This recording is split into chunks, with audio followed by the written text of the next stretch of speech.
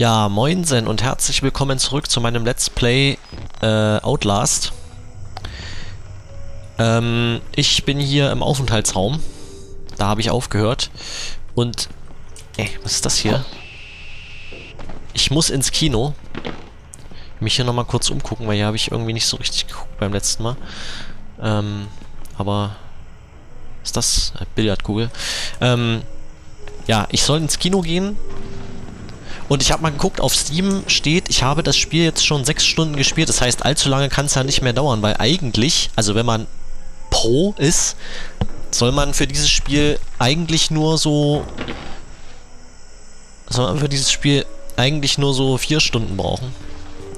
Weil ich mich aber hier permanent kriechend und wie ein Schisser fortbewege, dauert das alles bei mir tausendmal länger. Es glüht, guckt mal.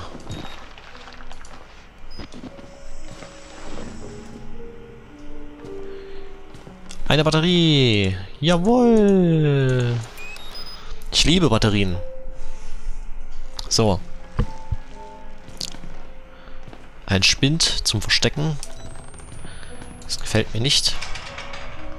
Abgeschlossen, gut, dann müssen wir die Leiter benutzen. Obviously, ja. Ähm, ich muss da gleich mal äh, etwas, äh, etwas fragen, euch. Und zwar, es gibt jemanden, der ein paar meiner Outlast-Folgen gedisliked hat.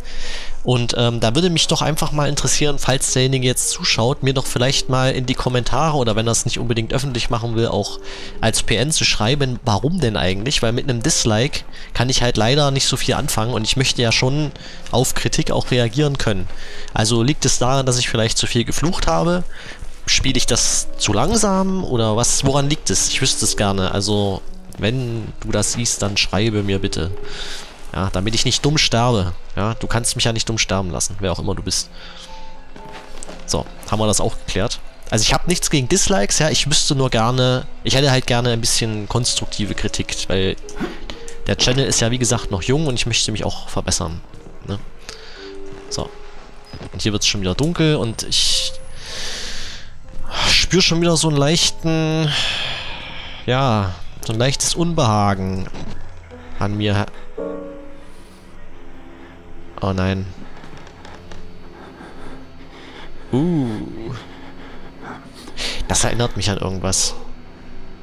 Der erinnert mich an irgendwas. Der Typ, sowas ähnliches habe ich schon mal irgendwo, hoch, sowas ähnliches habe ich schon mal irgendwo gesehen. Ich weiß noch gerade nicht mehr wo. So, der sah so, so ähnlich aus wie irgendwas anderes, was ich schon mal gesehen habe. Weiß es nicht. Kann mich nicht mehr erinnern. Ka Komm, kommt mir auf jeden Fall bekannt vor, ja, als wenn ich das schon mal irgendwo gesehen habe. Oh nein. Oh, es wird wieder dunkel. Ah. Oh, ich habe mich von meiner eigenen Kamera erschreckt. Gott. Nein, nein, nein, nein, nein.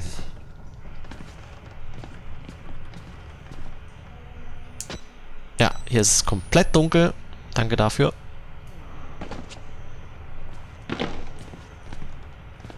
Ist das hier das Piano? Kann ich selber spielen?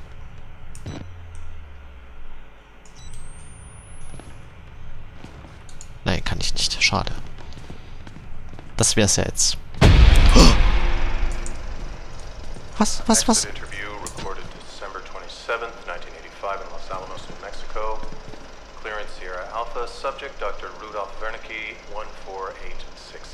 Oh, Film, Film, Kino. Moment, da muss ich... So, hier setzen. Uh, there was no alteration to the footage at all, no trickery? None. In June of 1943, you recorded three instances of spontaneous bleeding. Uh, half a dozen test subjects began to develop brain tumors? Yes. The autopsies revealed that the tumors were pure lead. It killed them?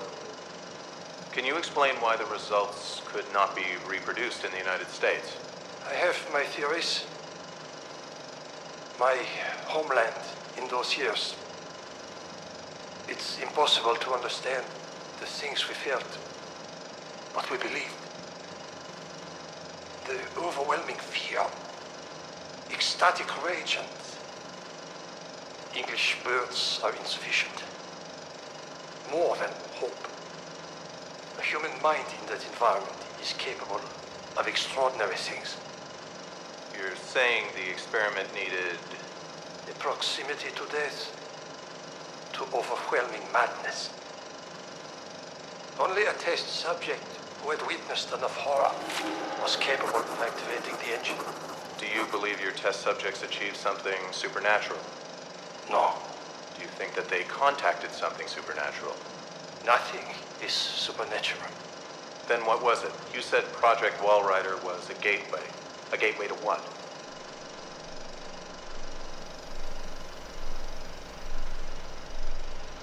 Hm.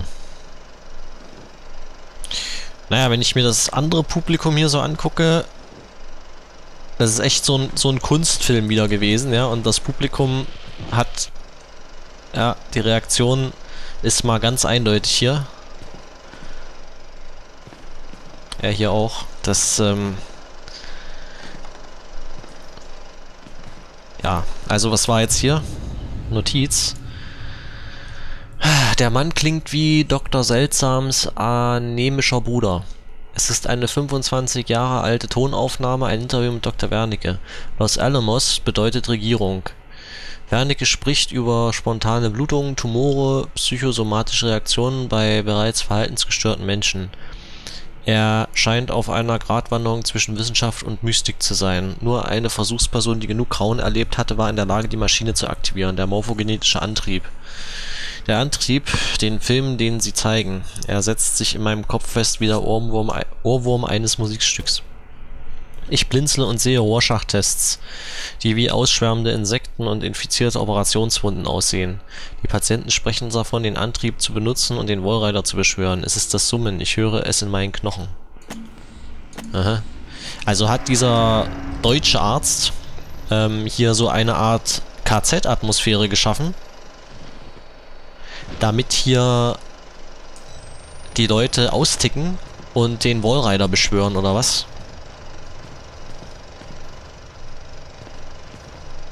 Irgendwie habe ich das Gefühl, dass gleich was kommt.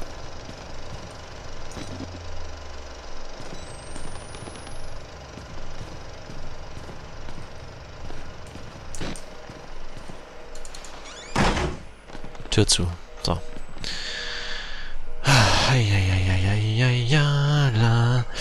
Bitte Batterien. Irgendwo. Irgendwo, bitte. Ein Telefon. Und da ist auch ein Freizeichen. Abschir, wenn du clever wärst, würdest du jetzt den Hörer in die Hand nehmen und versuchen zu wählen. Aber das machst du ja nicht, Abschir. Oh Gott. Ähm.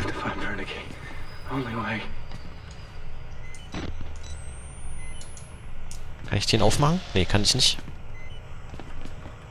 Moment, jetzt habe ich mich wieder einmal zu viel gedreht. You have to find Wernicke. Okay, ich muss den Doktor finden.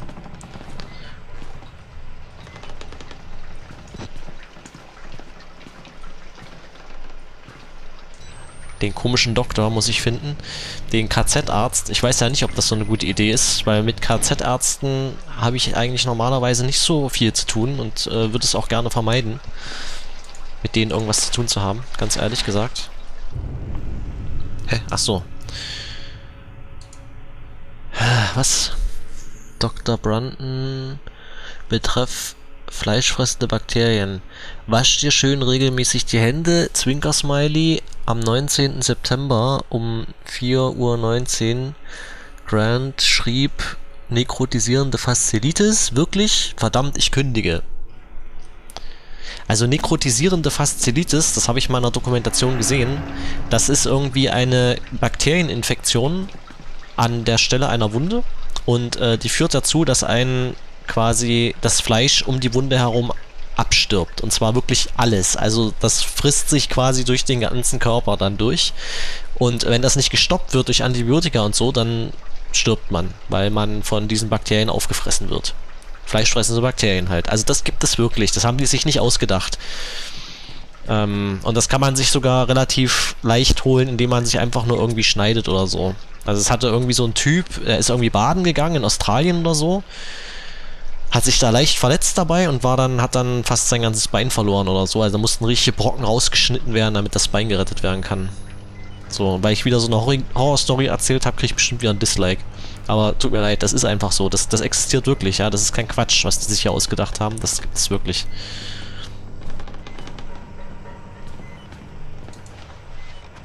Okay, hier ist zu.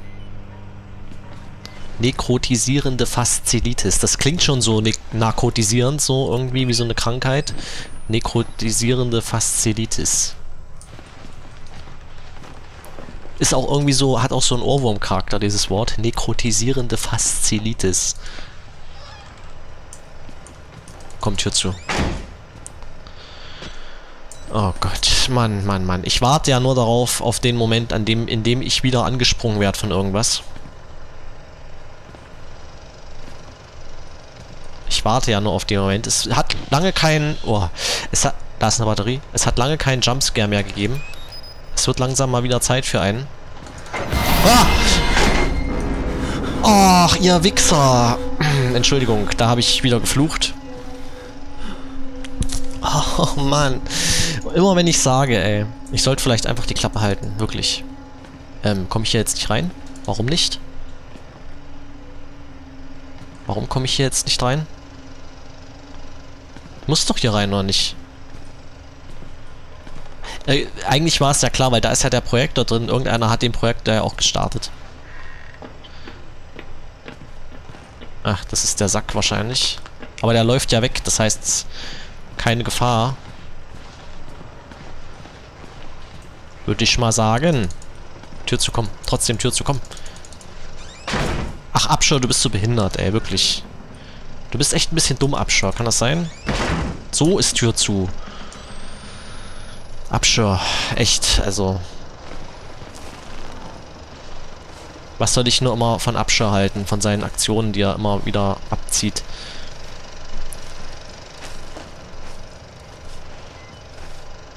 Ja, und da ist die Batterie, die ich gefunden habe, auch schon wieder passé. Fall jetzt hier bitte nicht runter, Abschau, bitte.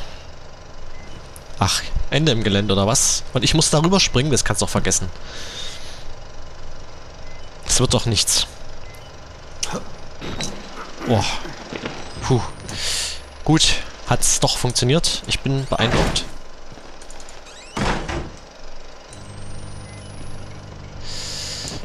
Oh. Hier machen wir mal auch zu.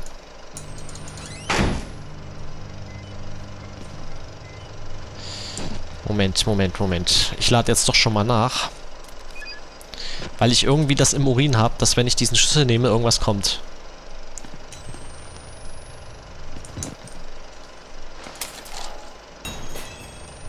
Neues Ziel. Finde Vater Martin in der dritten Etage.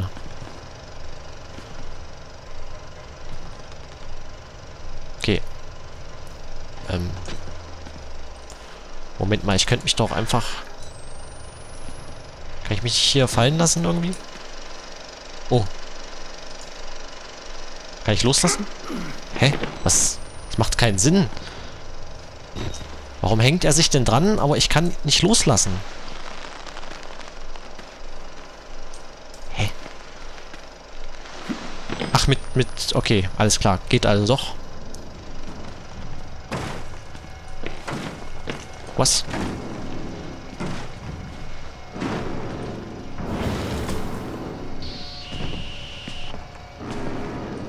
Ähm.